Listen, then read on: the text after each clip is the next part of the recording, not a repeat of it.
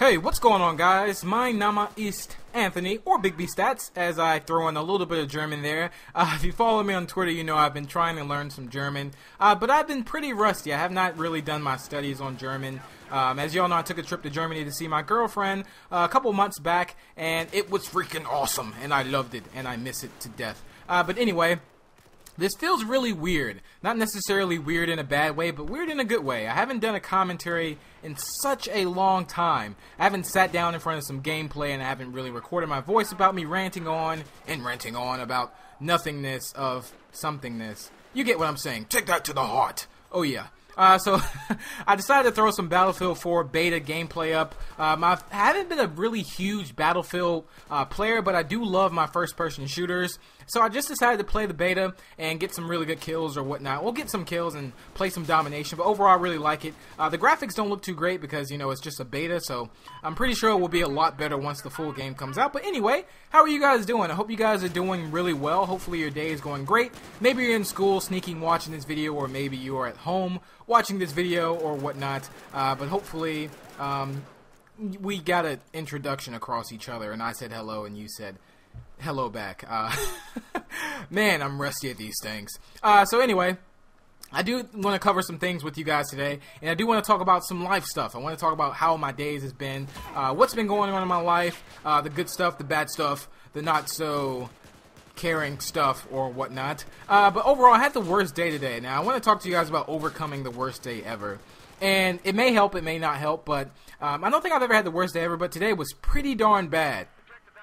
So, uh, to start it off, I normally go to the gym around 5, 5.30, and yesterday I went to the gym, and, you know, it's me like, a bunch of old ladies. I have some old ladies at the gym that, like, they call me their mom, so it's, it's kind of weird, but it's kind of like, I don't know if they have some kind of weird fetish against me, or they just really, really love me. no, they're the sweetest, like, ladies I know, seriously. And they're just so kind-hearted. They're, like, 70 years old, but they're still lifting weights, so it's like I have no freaking excuse on why I shouldn't do anything. Uh, so you know, we get there at 5:30. Everybody's waiting outside, and we're all waiting and waiting. And the lady never shows up to the gym, so it gets pushed uh, to about 6:30. So I'm waiting there for an hour outside. You know, and I'm just like, darn it. You know, I, I definitely want to go to the gym this morning. I stayed up, as you all know, I do work night shift, which freaking sucks. But you know, it, it comes with it, it, that, that's just life. You just have to understand that there's nothing's going to be perfect in life, so you just kind of have to roll with the punches. Come here, come here. Oh, there we go. Uh, I said punchers. you have to roll with the punches. So I do that. Uh, the gym doesn't come. Well, the, the lady never shows up. So I go I go back home. I go to sleep. I wake up. My power's off. We have a power outage in our apartment complex. Uh, so keep in mind, I do have to go to work today. And prior to that, I took out food to cook for work, which I was trying to make lasagna. I haven't made lasagna before, so I was like, today's the day that I'm gonna make some lasagna. So I I try to make some lasagna and it doesn't work out, of course, because I don't have power. So I'm like, damn it, I need to go to my mom's house to, to try and cook and shower and do all this before I go to work. So I pack up all this stuff, I scramble everything uh, that I need, that I think I need. Uh, as far as like the food ingredients, my clothes, I go to my mom's, and time is pushing where I have to go to work. I start cooking, and I realize I forgot the ground beef at home, which is like that. Just literally, like my heart exploded at that point because I'm just like, no food. I'm just so angry at that point. Uh, but anyway, how I overcame this terrible, terrible day, and then I had to go to work. Uh, but I ended up buying ground beef and doing all this stuff. But you kind of have to look on the bright side of things. You know, I looked at the fact that hey, I'm still alive. Uh, that's one thing. You always want to be thankful for every day that you wake up, uh, which I think that's important. sorry if the video kind of glitches a little bit. I don't know why my capture card was acting up.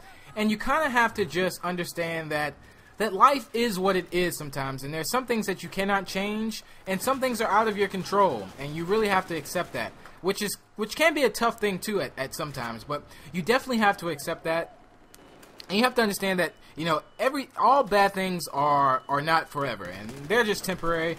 So I was able to overcome this terrible, terrible day. I got home, listened to some old school, old school music, which was like Casanova and all that good stuff, uh, which that's an awesome song.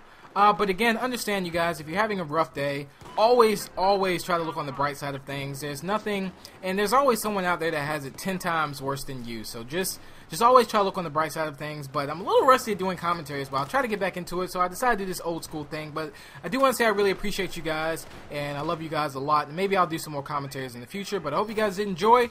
Be sure to drop a like, it's much appreciated, and be sure to subscribe. And until the next, I'll talk to you comrades later. Peace out.